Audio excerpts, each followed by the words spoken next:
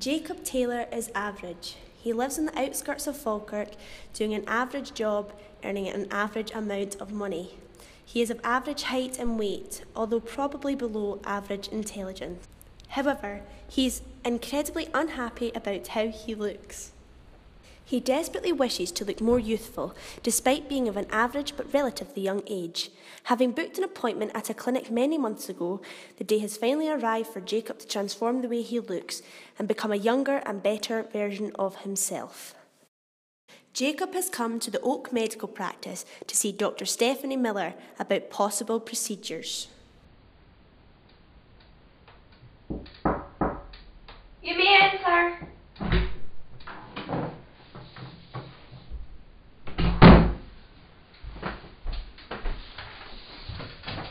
So, hi, um, Mr. Taylor. Yeah. I take it you have heard of the new experimental drug EX2456134AQ? Yeah, sounds bit familiar. Yeah. Okay. So, it has been shown to sh- show a significant reduction in the appearance of age. However, I must warn you that there are some serious side effects that you're at risk of having. Some side effects may include swollen glands, enlarged spleen, liver failure, and abnormally large reduction in age and erectile dysfunction. Is that okay? Yeah, sounds fine. Okay. So if you're all clear on that, I think we're ready to go. Today? Yes, today. The process is fairly quick. It shouldn't take more than an hour. I may have to put you under, however, the process can be quite painful. Are you sure I'm fine for doing it today? Yeah, well, look, of course, course. Look, I've, I've got a needle, I've got gloves, I've got a mask, I've got a stethoscope, and I have a severe addiction to Grey's Anatomy, so you've got nothing to worry about. I know what I'm talking about. 13 seasons. Yeah, okay, I trust you. Okay, so if you just come over to the bed area, it'll be fine. Just, sorry, I haven't actually done this procedure before, so I need my notes. Alright. So, now, Mr. Taylor, you might be beginning to feel a bit woozy due to the anaesthetic, so if you could just rhyme off your favourite contagious illnesses for me. Yeah, I don't really know my contagious illnesses, so I think that'll be quite troublesome for me. Okay, at count to ten we'll do just fine. One, two, three, four, five. Jacob awakens to find Six. Dr. Miller peering over him. Oh my goodness, I cannot believe that this has happened. What?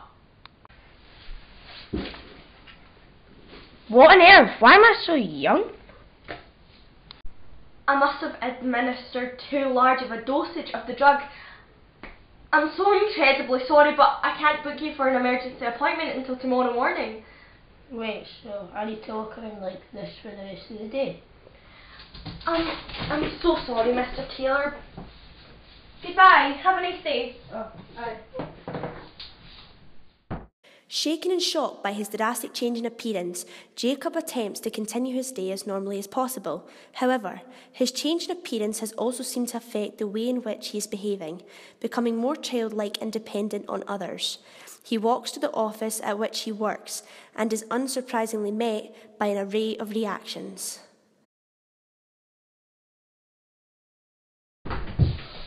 Spinning chairs, yeah.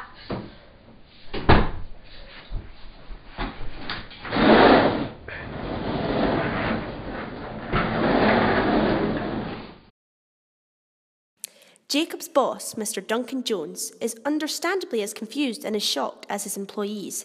However, he has tried to cater for his new staff member in the best way possible. Working with Jacob has been quite a challenge today. I mean, he remains very unfocused in the workplace and he's failed to complete loads of tasks. I've had to put someone to watch him like all the time because he's broken loads of high tech pieces of equipment.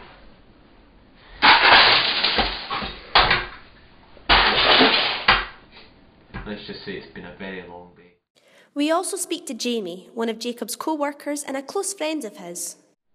Jacob has been an absolute nightmare today. He always talked about wanting to look younger. but I never believed he'd actually go through with it, or that he'd end up like this. He's been totally out of control, mainly because he managed to find my secret stash of Haribo's, which I hide in the staff room cupboard. After munching the whole bag, he's been having a sugar rush ever since.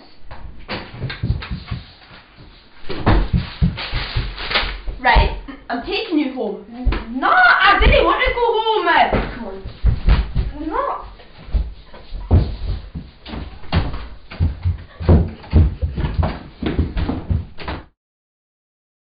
Jacob is dropped off at the home which he shares with his wife Natalie, who has already been informed of the situation.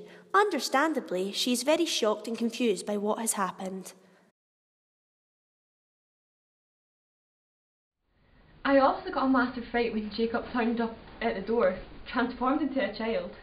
I received a phone call from his work to explain the situation, but it was a shock nonetheless. I've tried to make the evening as fun as possible for him, put on some cartoons and some games. But we don't have any children, so it's all new to me. The dog's been running around all night too. He doesn't know what to make of it. Murphy, shut up! Sorry about that. Hopefully this will make him realise the dangers of all these procedures. He could have got himself into a lot of bother. I'll be very happy once all this mess is sorted out. Jacob is tucked up in his bed around 8 pm as he is very tired. Tomorrow, Natalie will take him to the doctor's surgery for his emergency appointment, hoping to be successfully changed back into an adult.